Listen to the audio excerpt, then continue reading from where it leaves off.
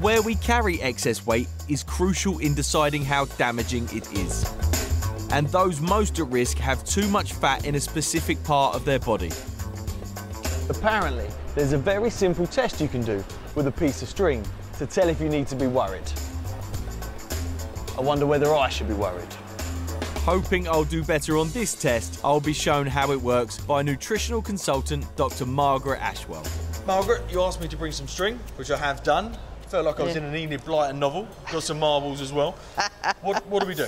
Okay, I'm going to ask you to step on the string. No problem.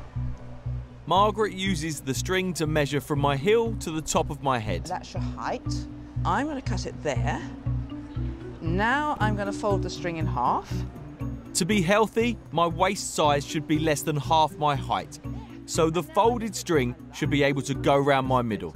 And now we see it meets. It just meets. But there's not much overlap there, Chris, is there? If So, any, um, if any, to be fair, But it yeah. does meet. It does Okay. meet. So this piece of string, what does it tell us? We know that your waist to height ratio increases when you have more dangerous internal fat. But is this not what BMI tells us? BMI doesn't measure fat distribution.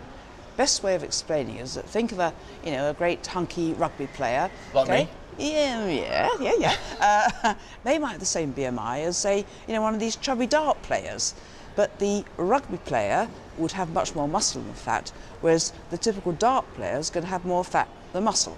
Okay, and it's important where the fat is. Yes. What we now know is it's the internal fat that's wrapped all around the body organs. It's a physical presence. It wraps around the heart, the liver, the pancreas, and that raises the risk factors for diabetes, heart disease, and blood pressure. So I'm on the cusp You are. of Absolutely. having safe levels of fat. That's right. Yes. But it's Yeah. not where you want to be. You want to be under. Just a bit under would be nice.